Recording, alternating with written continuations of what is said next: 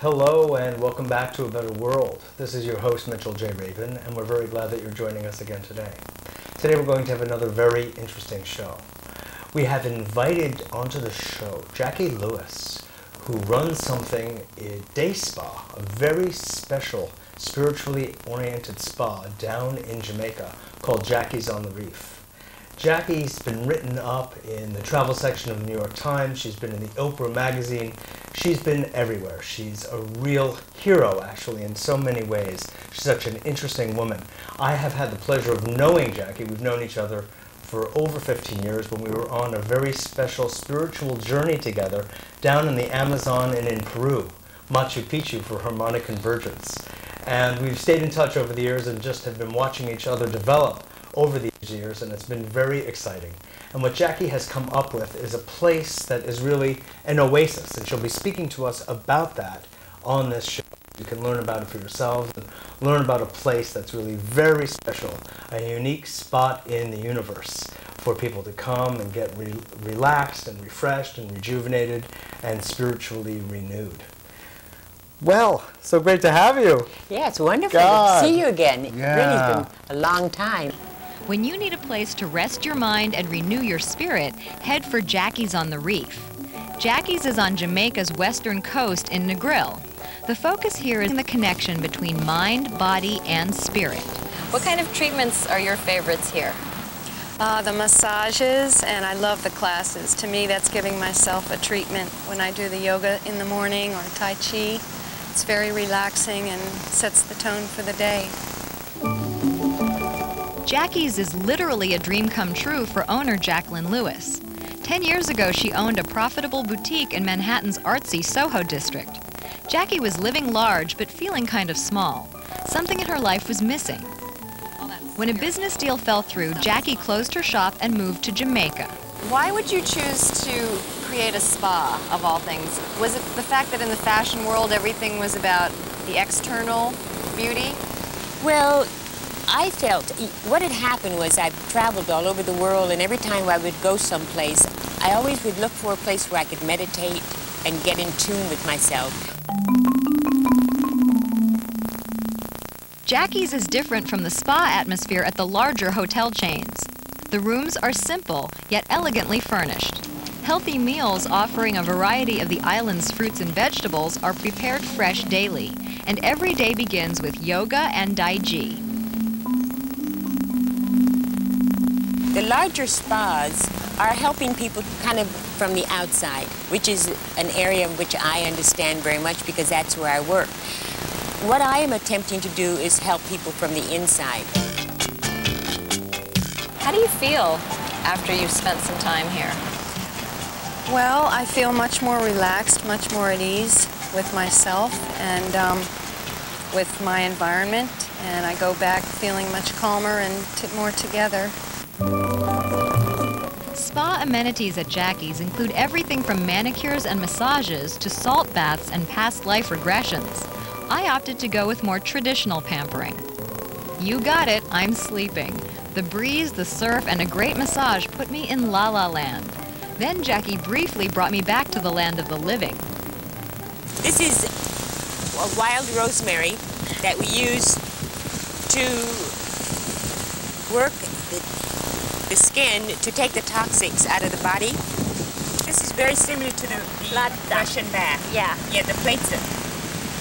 But I don't, there's no oak leaves here in Jamaica, so I've used wild rosemary, which does the same thing. It has the same effect on the body. It takes out the toxics. Oh, good. If this looks as good to you as it felt to me, book now because rooms go quickly. When people come out of the civilization, uh, Western civilization, to come to a spa like Jackie's on Yeah. the Reef, they are coming out exhausted, you know, um, very disconnected to their inner selves. Yes. And so we are really using nature to de, uh, kind of like decompress you or de, de-stress you, to bring you back into your inner self, you know. And so the natural rhythm of things. Right, and nature is so important for that. So we're right on the on the water. There are all kinds of beautiful birds. There are, you know, the hermit crabs. And as I say to many guests, when you can slow down enough to be able to sit and watch a hermit crab try to walk backwards up a little step, then you know you're on track. Yep. You know, and we had a a, great measure. we had a very And find it fascinating. Yes, absolutely. Yeah. So it's kind of like still in your mind. It's a meditation when you're when you're really dealing with nature.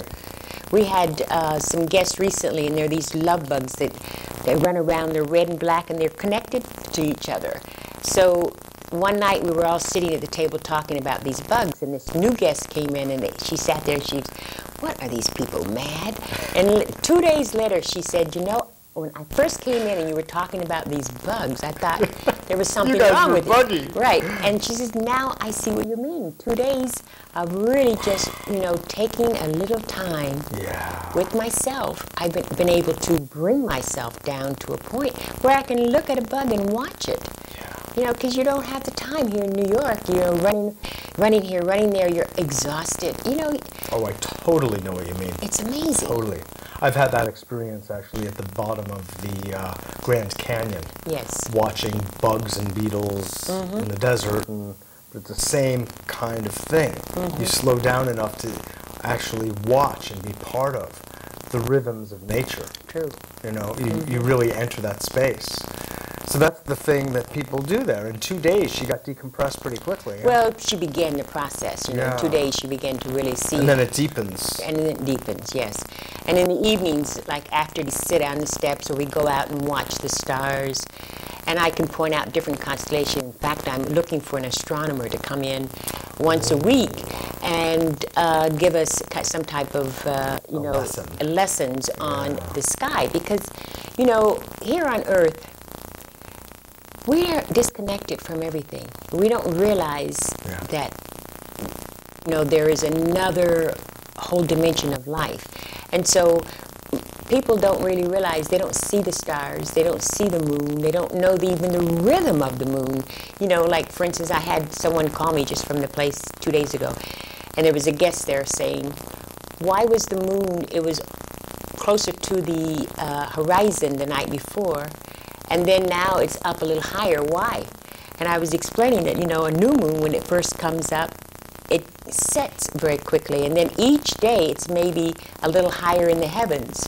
Until the full moon it's all the way over to the east and it rises mm-hmm. you know at But it has the appearance of rising. well it, it actually yeah it rises at night you know. So you see the moon because we're right on the horizon so Sure. we see everything Sure. so it's just amazing you know the cycle of the moon but we don't know it Totally. 14 days dark and 14 days light.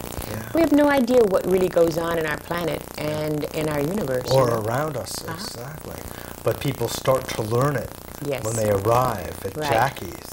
You know, now you have classes as well, right? You have Tai Chi Chuan, you have Qigong or yoga. Yoga, we have meditation. I teach a breathing class, you know. Mm-hmm. Um, and then we invite different practitioners come to come in to Yes. teach different classes depending on, you know, if, if there's someone around that can teach something else. Uh, we have Right, I spoke with you about coming down myself and Yes. some classes. Right, that would be wonderful. Yeah, I'd love Very- to. Yes. We have a young lady who does African dance class. Oh. There's a gentleman who teaches Afri- uh, well, actually, it's Nyabingi drumming. It's, you know, the, uh, the Rastafarian beat, the heartbeat. So he teaches a class. And then at night, we sit around the fire. There's a fire that burns every night. And we sit there and we drum or we tell, tell stories.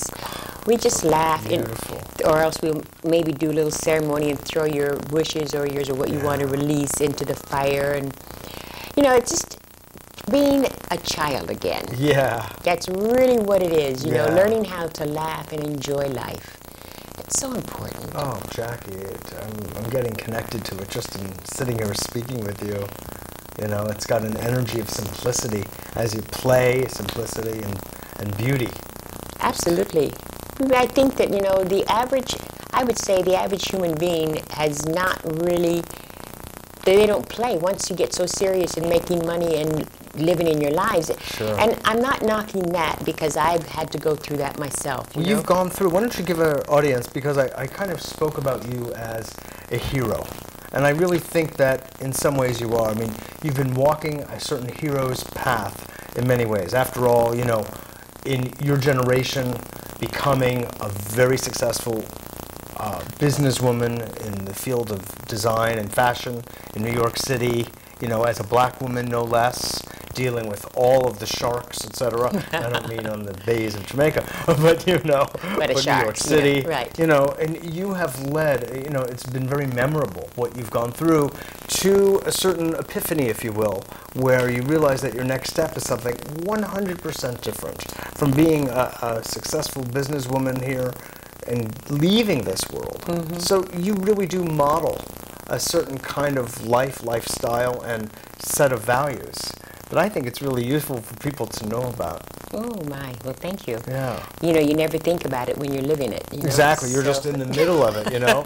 well, give us a little brief sketch, if you would, of, of just what where you were and where you went.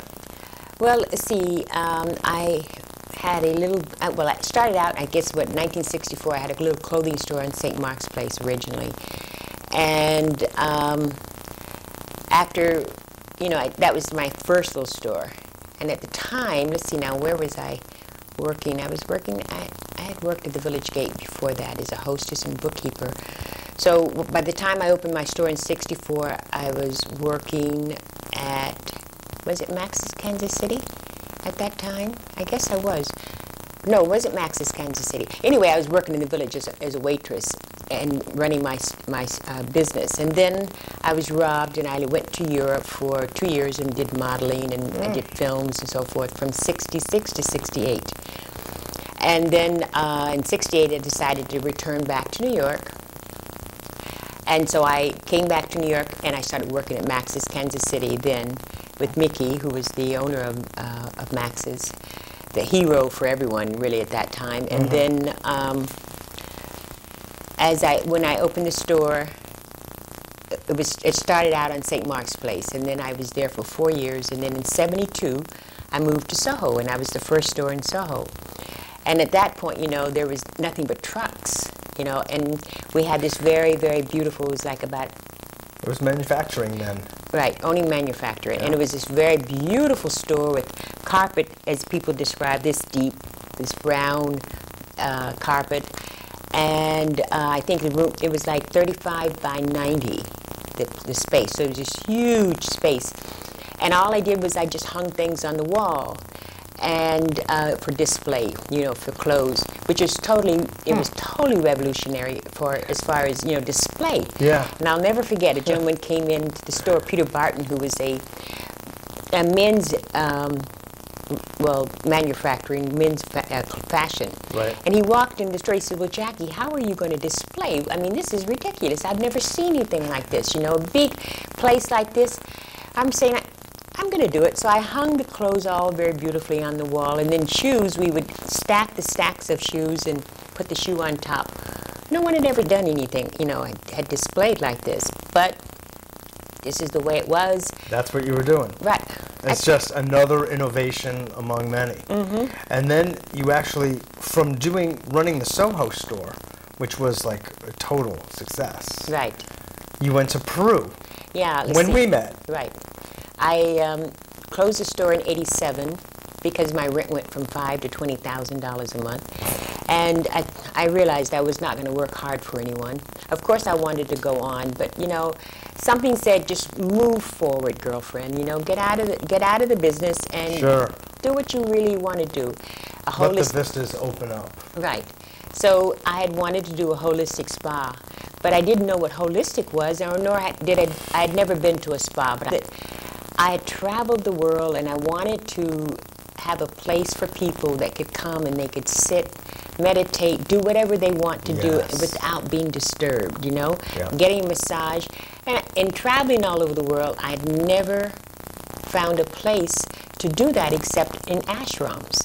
And I felt that an ashram was too small. It was not that it's anything wrong with it, but you know, sometimes people Perhaps too specific a context yes with uh, uh, just a, kind of a highly focused uh, perspective or, or um, service, if you will. Well, I kind of felt that, you know, people, I wanted to be able to touch a wider range when you start being so specific. exactly. And saying you can only do this and you can't do that and you can't do this, I was not going to touch that many people. Yeah. So um, It limits your market. it, yes, it limited the market, and I felt there, there'd be a lot of people like myself who, at the time, I smoked cigarettes, and you know, at the time that I drank a little bit of wine, I felt that why that does not say that what your spirituality is, where your heart is, if, if you smoke or if you drank. So. I want to reach more of a, a larger base of people, Sure. so that's why Sure. I kind of like So this- started this place. Yeah. And also, you have the benefits of real traditional spa treatments Right. That you've got at your place. Is that correct? Yes, but primarily Massage, facials, things of that sort? Yes, we do massage. We do three times types of massages. We do a, just a plain massage, we do aromatherapy massage, and we do hot rock massage. And then we do past life regressions. We do Reiki. We do um, ear candling. We do body scrubs, which I took from my the, the 10th Street Baths. Their concept of you know the pla- the platza. Right. So, but I do the same thing outdoors with the with the rosemary brush. With rosemary, yeah. Uh huh. And so. Uh, Which grows right there. Right there, we just pick it. So that's quite wonderful. So Highly aromatic. very. And then we, what I do is I boil. I use a lot of herbs, five different herbs from the land. We, so it's papaya leaf, rosemary, leaf of life, uh, jack in the bush, and castor oil bush. And we, we boil it, and that's what I use to scrub you. It takes all the toxins out of you, you know. So it's very, very, um, very, very cleansing. Cleansing. Yes. And you're right on the ocean, so all of that bad negative can just go out to the sea. Yeah. You know? So people really come and they relax, and you get a lot of people from New York, or where do you Well, get a lot of people? Here recently, since there was the Times article, which, which came out in December 31st, we've gotten a really very large group of uh, America, I mean New Yorkers coming in, which is really nice. But then, you know, of course, New Yorkers are probably the hardest to satisfy, you know, because they are accustomed to wanting everything and right now, and to slow them down Yes. is quite you a can't challenge. give them everything right now. Yeah, it's a challenge, you know. I- Pace it out. So we have to, you know, keep them, cajole them to, to slow them down just to the point of being able to relax, you know? Yeah. Because as I say, you come out of New York, New York breeds the winners.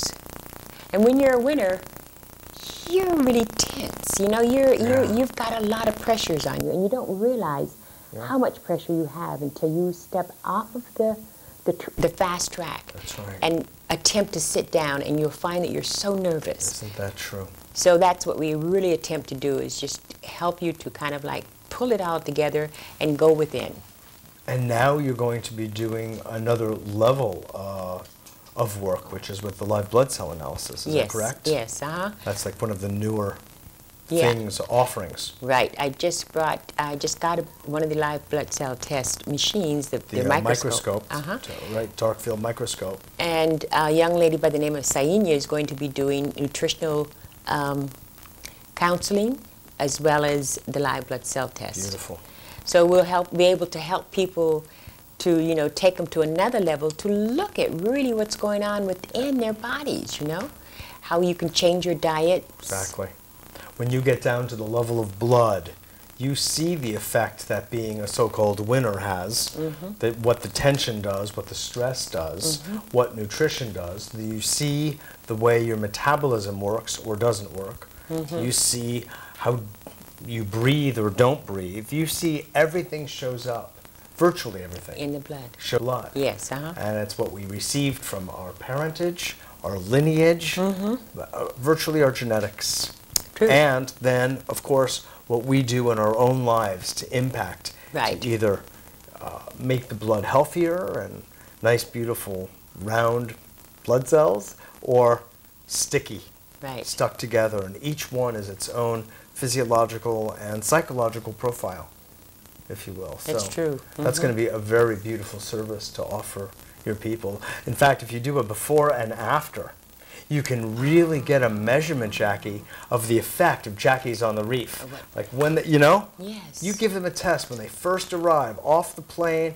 They arrive. They get uh, An idea. Exactly, and you put it on videotape, and then five days later or seven days later, when they're getting ready to leave, you show that blood to them again, and they will see Oh, in a really measurable way what effect Jackie's on the Reef and your entire program has had in Has their a- lives. What a brilliant idea. Thank you. I hadn't even thought about that. Yeah, Great. yeah. Wow. That's why there's no dispute. uh, There's it's very clear. This is what happens when you come and I'm you in. kick back Jackie style. That's a great idea. Yeah, yeah. We've got a whole program already that's been in place now for a few years. You know, I mean, Mm-hmm. you've been written up in Oprah's magazine. you know, people love you. That's nice to know, you know? Yeah, it really is. It really is. So you've had. Tell us a little bit about some of the people who have come and how they've enjoyed themselves. Well, we've had some wonderful people that have come in, and uh, we recently had a woman who came. Uh, she was coming out of Palestine. She worked for the World Bank, and so she had been under the gun for like months. God. And they finally got her out, and so she came in to Jackie's for like two weeks, and to watch her go through. Of course, you know, that that that decompression of you know of the tenseness and the fears and the first couple of nights she couldn't sleep and she was you know quite nervous and then um, she, she you know started crying mm. and the, the purging the, of the fear of you know of what she had gone through and by the time she left she was really looking fantastic you know so to to watch this it's so wonderful to watch the transition that people make you know, while they're there. And if they spend, you know, spend a little time, you can see what's Yeah. going on, you know, and you can help them much better. But the average day, most people come in for four days to a week. There's a payment in that for you that goes beyond anything the material world has to offer. True. Because when you see that you are taking people through this process Mm-hmm. in a, a relatively short amount of time, and as you say, decompressing them, and one of my specialties, and I, I don't know if you know, I used to work with Gary Null for years Oh. Mm-hmm. when I had my own healing center, my own called Center for Creative Well-Being, and I worked with Gary teaching stress management and stuff of that sort, and down at his ranch down in Texas, and Okay. worked with large groups of people and bring them through a process similar to what you're mm-hmm. doing there. There's more of an emphasis perhaps on food, but maybe not as good food as you've got down there. I don't know, but you'll have to tell us about that too.